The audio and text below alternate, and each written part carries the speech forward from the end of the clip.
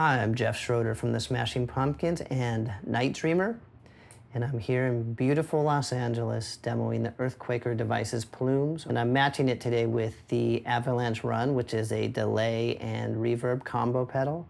And we're running it into a Supro amp that's set super clean. Um, so all the drive and is coming from the plumes. The reason I've paired these two together is uh, number one, I'm a delay junkie. I very rarely play clean guitar without at least a little bit of delay and a little reverb. It's very natural for me to pair the two. And when I got here and plugged them in, it was just instant fun.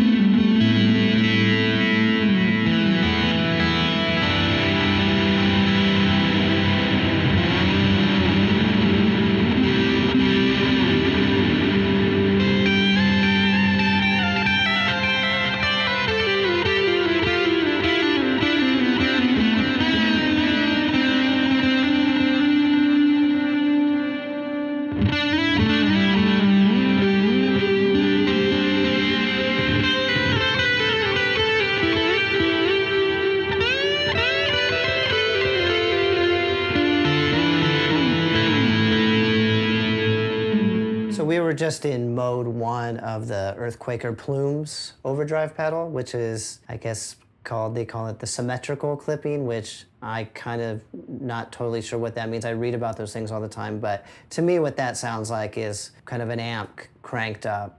And what I really like about a sound like that is there's a lot of dynamic play within it. So depending on where I have the volume on my guitar, I can go from single note lines to chordal work and ride the volume to get the amount of gain I want. And I would use that over something like if, like in the Pumpkins, if we're playing and the band is kind of quiet and clean, I may use a sound like that to kind of ride over the top. Um, but that's to me, things like this are are things that I can utilize all day long because I really do like having that that dynamic range where it lets me as the player kind of decide like how much gain I want from it, um, depending on where I want to have the volume on the guitar. And uh, now we're going to move on to mode two of the Earthquaker Plumes.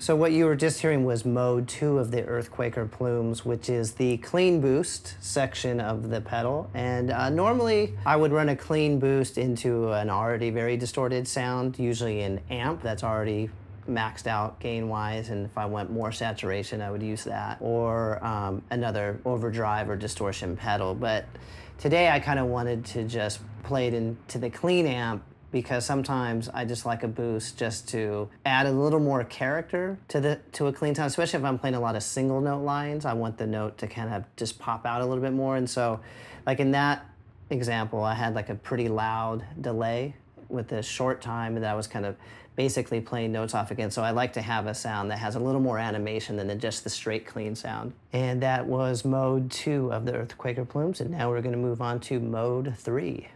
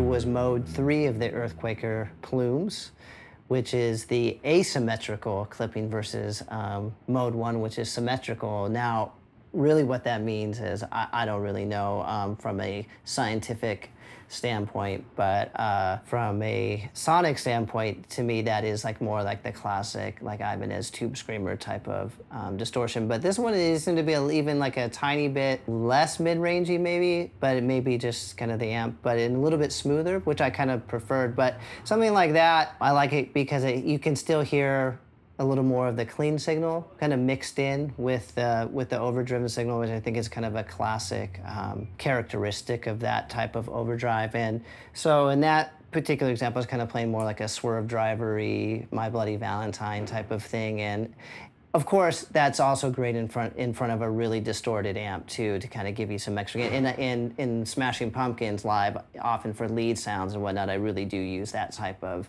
sound a lot, but I also use it for um, for more chordal work as well into a clean sound as well. What I, what's something that's actually really great about the plumes pedal, which is something in my older age that I kind of gravitate towards, is things that are kind of have immediacy to them because I like to be able to get sounds kind of quickly and on the fly because I'm often in situations, whether it's in the studio or live on stage, where say we've added a new song to this set and I got to come up with this set of sounds like really quickly.